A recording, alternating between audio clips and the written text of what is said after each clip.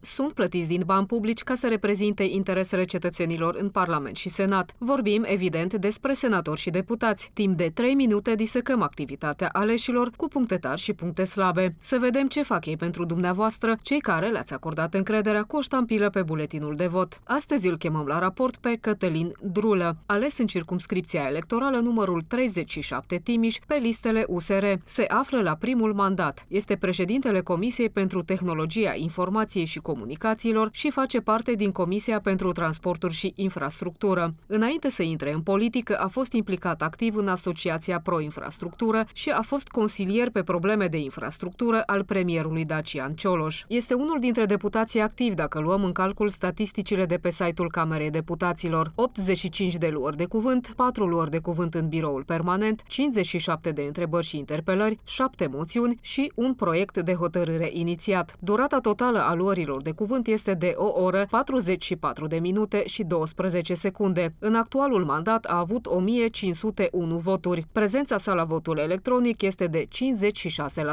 Pentru munca prestată în Parlament, Cătălin Drulă încasează o indemnizație lunară de 10.781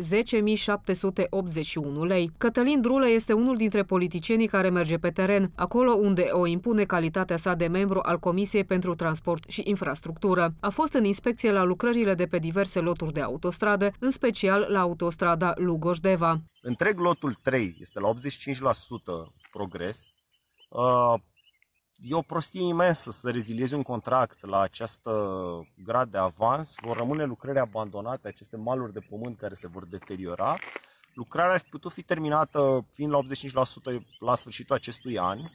Ba mai mult, nici lotul 4 nu va putea fi folosit cel dinspre Deva, pentru că descărcarea lui este pe lotul 3. Știu că sună ca un coșmar, dar așa, e, așa a gândit compania de drumuri. Este printre puținii deputați care le arată alegătorilor ce se întâmplă în ședințele de comisii prin transmisii live pe pagina sa de Facebook. La una dintre ședințe a vorbit despre pistele aeroportului Otopeni. Acest aeroport are nevoie de reparațiile capitale ale pistelor, deci să fie refăcute din temelii. Ambele piste și toată infrastructura este substandard pentru un aeroport de această dimensiune. Să vedem acum care sunt punctele tari ale deputatului USR Timiș, fidel partidului din care face parte, număr mare de luări de cuvânt și interpelări, activitate intensă în afara Parlamentului, fără probleme de integritate și interes pentru județul pe care îl reprezintă. Punctele sale slabe sunt următoarele. Prezență redusă la votul electronic și număr mic de proiecte legislative. Pentru activitatea depusă de la începutul mandatului din decembrie 2016 și până acum, îi acordăm nota